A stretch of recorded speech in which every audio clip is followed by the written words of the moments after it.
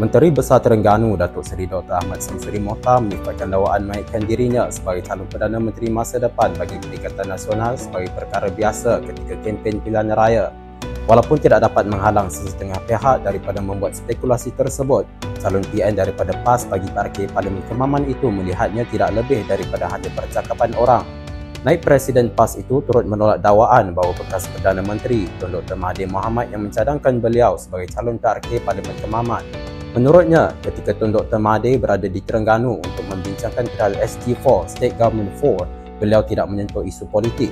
Laporan sebelum ini menyebut bahawa pertimbangan PAS mencalonkan Datuk Seri Dr. Ahmad Samsuri pada PRK Parlimen Kemaman bertujuan mengetengahkan pemimpin itu sebagai calon Perdana Menteri seterusnya bagi PN.